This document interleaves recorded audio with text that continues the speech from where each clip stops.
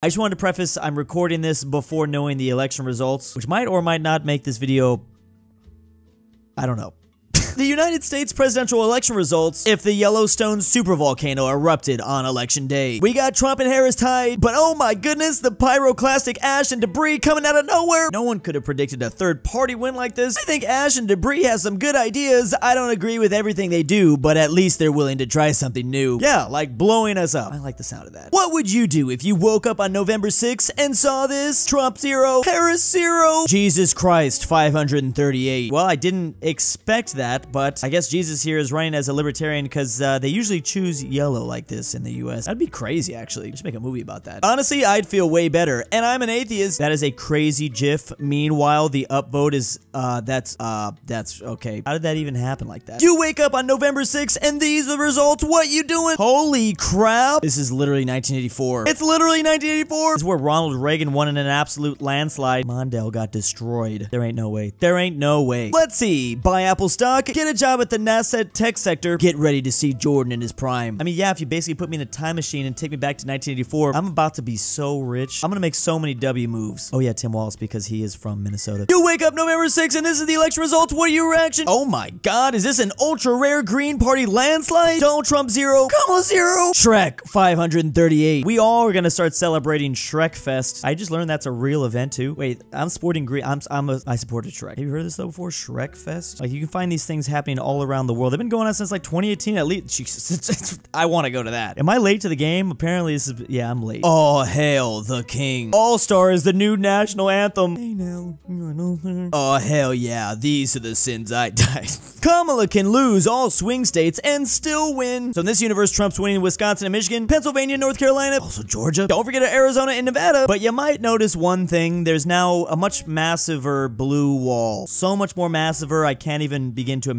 All Kamala Harris has to do is win states like Alabama and Mississippi, and, well, some states that haven't voted blue in literally decades. I guess in the contrary, Trump could also do this and lose all the swing states. Other than I make this video and you guys are from the future and you know exactly what's about to happen, and I'm like, I don't really know what to expect. Is this gonna age like milk? Trump could actually lose Texas and still win. Basically, he'd have to win all of the swing states, and actually, that's it. This is not that crazy. Out of all the crazy, like the other one was like not even possible. This is insane though. He just has to win literally every single swing state. And in that scenario, he could actually lose Texas and lose these 40 points. I, this is supposed to be like a dumb map video, but man, I like the electoral college system in terms of, you know, the numbers and the map and the, the math. I'm such a freaking nerd. God bless the electoral college. What would you do if you woke up on November 6th and saw these results? Basically, we have a completely unrealistic map, but it is fascinating because Trump would win exactly the minimum 270. Yet in this scenario, Kamala Harris wins the popular vote by over 75%. This is absolutely possible with this system that we're using. I did just mention I love the Electoral College. That's because I like the math, the numbers, all that stuff is that's involved. But, um, yeah. It is very flawed, I think, at the same time. What am I doing? I'm going back to sleep and pray it was a dream. Probably storm the Electoral College in Minecraft. Can't believe I'm gonna Google this, but I just want to confirm. I don't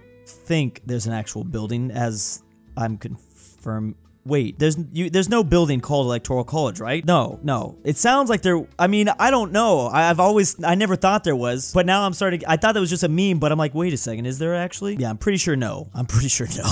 like this is the place they got to show up and actually do the votes, the the electors. I put Michigan in the Middle East. UMFers couldn't behave. At least you brought over the up, too. You know, they always love to say they have that Upper Peninsula. And don't forget it, getting dragged down, I guess, with them. The IDF and Hamas when faced with the unrelenting might of one singular average Detroit resident. I can't tell if this is supposed to be a punishment for Michigan or for the Middle East. Trump could lose every state and not win the election. What? That's possible? Imagine if he lost every single state and also lost the election. That's crazy. I didn't know this could actually happen. Man, the Electoral College stupid. Finally, an ideal map of the United States of America. Only the Eastern Standard Time states are real. I think that's Eastern Standard Time, right? Meh, I mean, it's including a little bit more than just that, but basically, I don't know why I'm bringing this up. I love this fact, though. The Eastern Time Zone is the most populous region with nearly half of the country's population. So you know what? In a way, this map is kind of real. Well, I'm not saying that I live in California. That's a mental illness, I will admit that. But it's kind of funny. Ideal America. In a way, I can see the logic. Especially considering you know, this is where the U.S. started, the old 13 colonies. I don't think you can be America, though, without Texas. I mean, Texas is pretty quintessential America. Personally, if you drew the line, I feel like maybe, maybe more like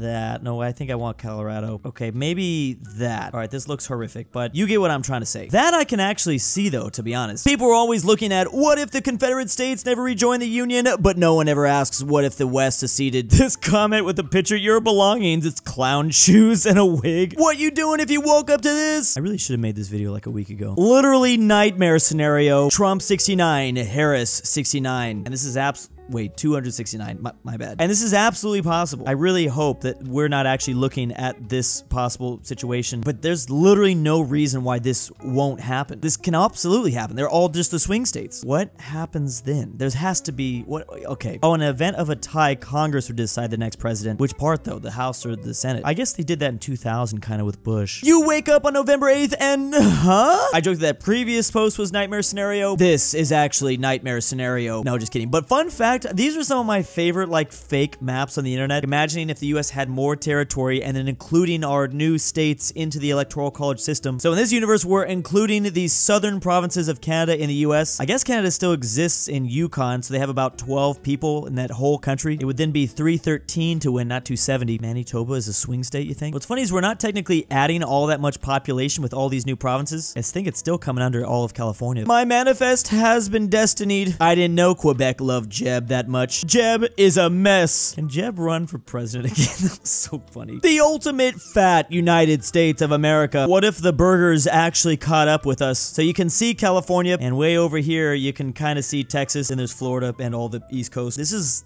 a disgusting, this feels like a meat cannon version of the United States. Like it's kind of horrific, but also comedic. What island is that? Did we eat Canada in this scenario too? Oh, look at the East Coast. I love how you can actually see some of the real states in there somewhere. Bam, there's Washington. And then here's Idaho, Montana, South Dakota, North Dakota is gonna be a lot harder to find because they're basically just squares. Okay, there's the rest. Election night would be insane. I've never been so fascinated yet so disgusted by something. What you doing if you wake up and these are the election results? Ah, ah that hurt. Oh my god. This is crazy. Who wins? Who's next? Uh, that's basically the most accurate picture of what's happening, it seems. What if you wake up and these are the election results? I feel like this is giving us a sign. What should we do? I'm confused. Basically a Jeb victory. You wake up and see this in two days. How would you react? Okay, this is a day ago. Literally the entire U.S. takes their revenge for Peanut and Fred. You know, that story is crazy. I, that, that made me so mad. How is New York just allowing that? That's what I want to know. At least Harambe is watching over them. In the end, it was not women's rights, the economy, foreign aid, or the controversies over the judicial system that determined the election. It was the execution of one one squirrel in cold blood that galvanized and reunited the United States. Bruh. What if you woke up and these were the election results? It's a MatPat victory. I hope this is not just a theory. Winning with almost a 50% vote. I don't think he should run right now, but if he waits like another like 10, 20 years when all the kids grow up, well, I, have watched him for a long time. I'm grown up, but he needs even more of a voter base. We need to get old. He might win, maybe, if he just plays his cards right. You want to know the theories that would come out if he was president of the U.S.? There's definitely some jokes I can make about this, but I don't know how uh,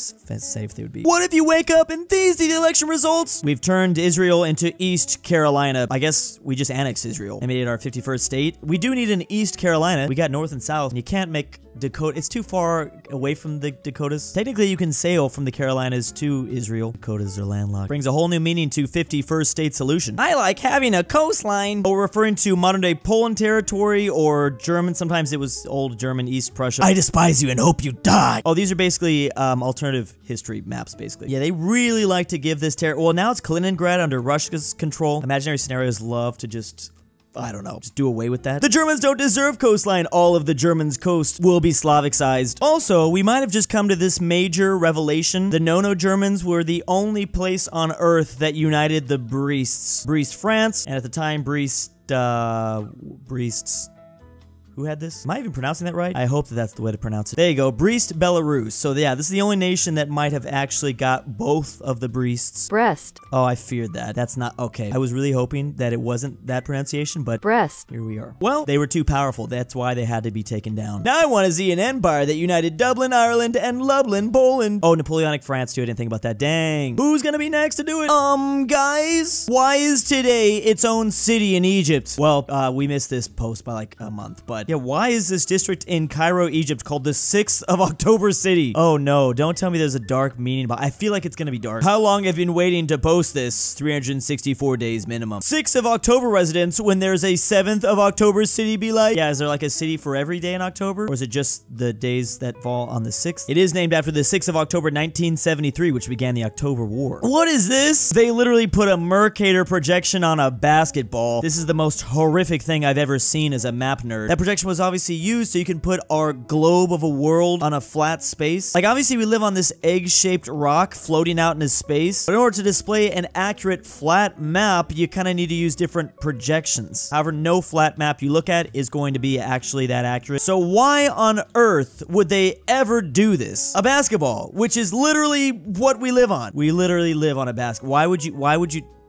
Spalding, bruh. Just think about that for five seconds. Well, at least Greenland has data. My uncle works at Spalding. They did this because people in focus groups were confused why Canada was so small. I really, I, I, I don't, I don't know. I don't want to know if this is true. Globetrotters. And big thanks to my patrons. Month three in Drew's basement. Drew's Argentinian grandpa, can't sleep ZaneyBoi, Drew's Kirino is best The Mexican girl, 760. Tambre, Miglu Nor the Tyrol. Luxembourg, Lucas the Kansas, Canadian was Christmas goose. King, Unk, Bear Hayes, Inquisitors, Xarius, Dude, Fredrik Dimple, Megan, Connor Pavlik, Underwood, Carmel a fat normal, and Amateur Archaeology